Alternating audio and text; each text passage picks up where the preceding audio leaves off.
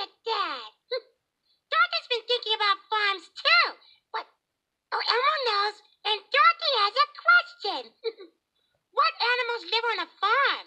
Hey, good question, Dorothy. Oh, you know what? Yeah, that's right. Let's ask Mr. Noodle.